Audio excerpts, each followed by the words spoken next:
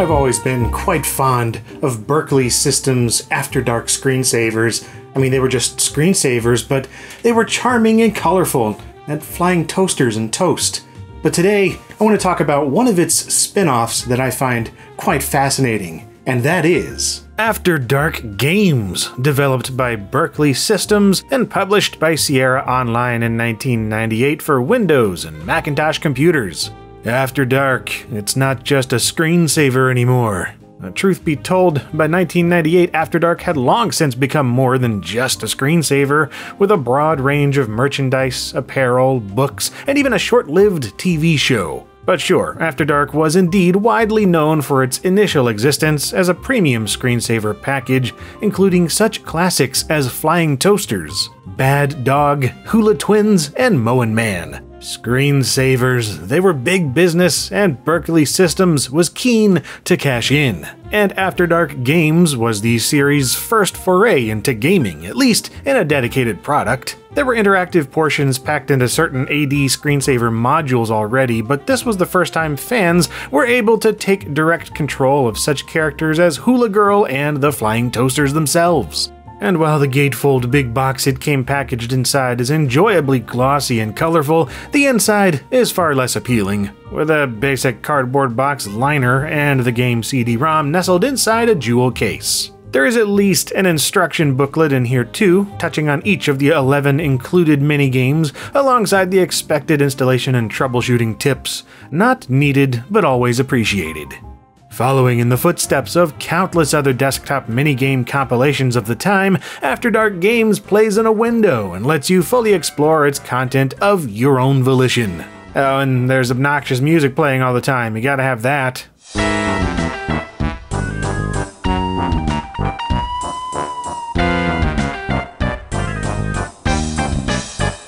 Along the bottom of the window, you get a string of 11 games to choose from. We're gonna go from left to right here, since that's what I'm feeling at the moment, which means we begin with Hula Girl. This is a vertically scrolling platform survival game, quite similar to any number of free online games and mobile titles you may have seen over the years.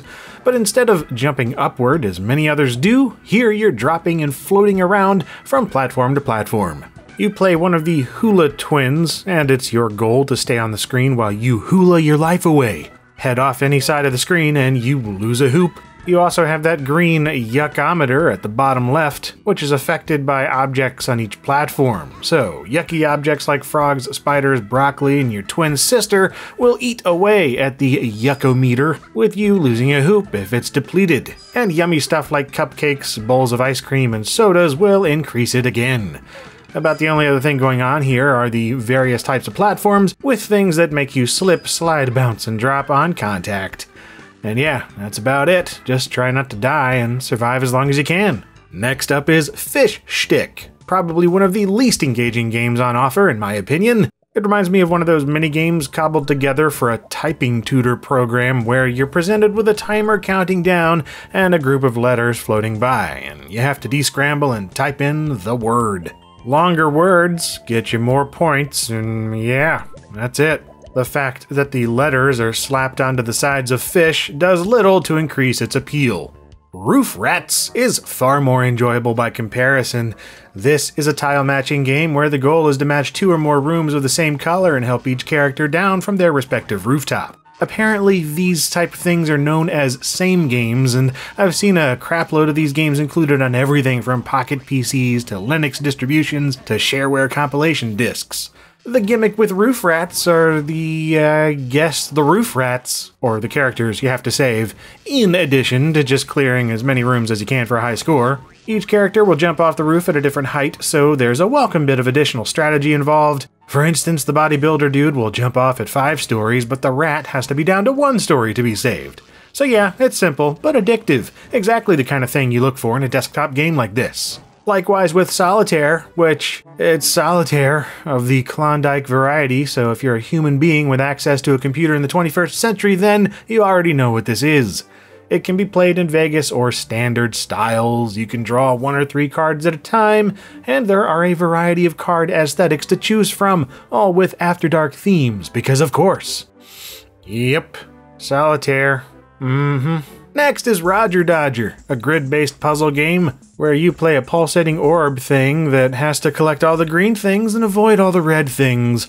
Once you've collected everything, it's on to the gateway and the next level where difficulty inevitably increases and the speed at which you must avoid hazards rises alongside. Yeah, it's fine, I guess. It's not as complex as something like Chip's Challenge, since the levels are so small and there are relatively few objects to deal with. Personally, I find it positively hideous in terms of visuals, but you know, it's here. Golf clap for effort. Then there's Zapper. This is a straight up quiz game with a timer ticking down while you're presented with a barrage of yes or no questions to answer. Many of them take the form of common misconceptions, and the fact that each of them are worded in such a way that they can only be answered as yes or no makes otherwise innocuous questions somewhat tricky. But yeah, it's just a game show kind of thing without much show, or game really. Rather forgettable. Then we have Mowin Maniac, which is an absolute breath of fresh air compared to some of the other drab stuff on offer. It's more or less Pac Man, but you play the mower from the Mowin Man screensaver. And as I've talked about before on LGR, I have an odd fondness for games with lawn mowing, despite having less than an enthusiastic point of view when it comes to mowing actual lawns. There's something about the idea when it comes to mowing lawns in games that just amuses me, and Mowin Maniac hits the spot. Especially since you can plow through just about everything fences, bushes, flowers, groundhogs, doesn't matter. And while you should still beware the angry enemies, they are not stole your fuel this time around. In fact, you're the one grabbing fuel here, and every time you do, it's like a power pellet, letting you mow down the enemies in gratuitous fashion. Nice. Bad Dog 911 is the inevitable Bad Dog game, tying into the classic screensaver that was seen running on monitors in every dentist office and public library in the 90s. The game, though, yeah, it's pretty weak, I think. It's just another word descrambling type of game where a clock cleaner is being terrorized by the titular bad dog, and it's up to you to get the platform up to him by typing in words. That jumble of letters up at the top can be used to form anywhere from 10 to 20 words. Enter enough of them, and the dude is saved for that level, and after that, you can continue typing in more for a higher score. Eh, I always wanted to play the dog himself, like chasing down cars or tearing up computer desktops or whatever.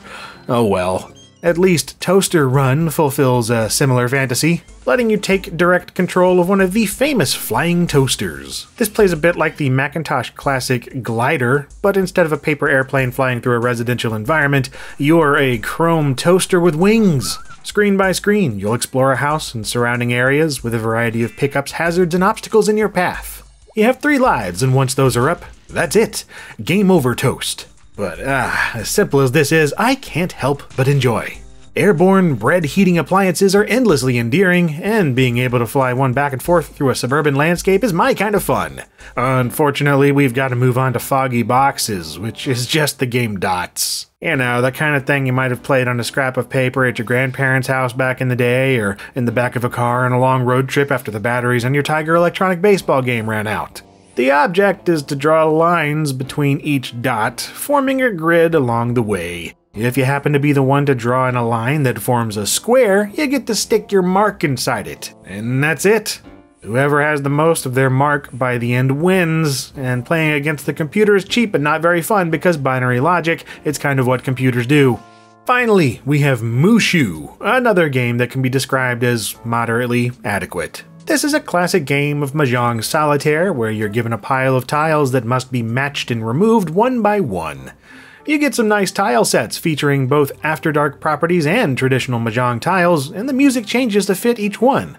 But I mean, again, there's a million other games that do this, free and paid, and just about every single one I'm experienced with does it better. Are you really going to go out of your way to play this one? Probably not.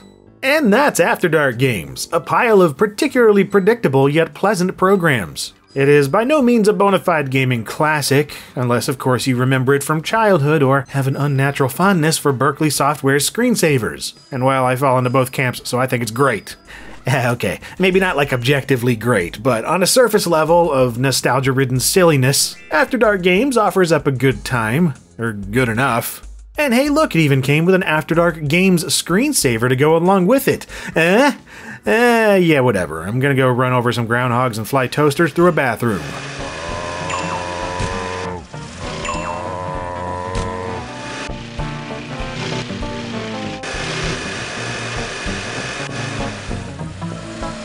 And if you enjoyed this video on After Dark Games, perhaps you'd like to see my video on After Dark. Or, you know, check out any of my other stuff. There are new videos every week here on LGR. And as always, thank you very much for watching.